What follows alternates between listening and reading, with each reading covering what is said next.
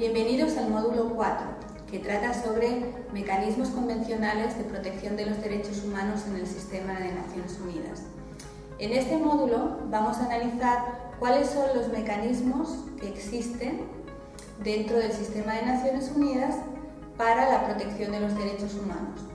Para ello vamos a analizar eh, las convenciones internacionales que permiten la presentación de quejas por parte de individuos ante, ante los órganos de eh, estos tratados.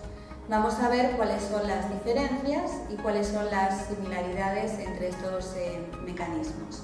Y concretamente vamos a ver el procedimiento ante el Comité de Derechos Humanos de las Naciones Unidas, ante el Comité de Derechos Económicos, Sociales y Culturales, ante el Comité de todas las eh, formas de eliminación de la discriminación racial y otros comités que a lo largo de los últimos años y por digamos, el impulso y también el lobby que han hecho las organizaciones de la sociedad civil tienen competencia para conocer de quejas sobre eh, violaciones a los derechos de esa, de esa convención.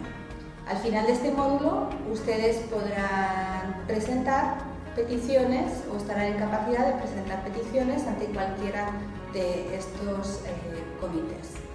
Ah, muchas gracias y les doy la bienvenida al módulo 4.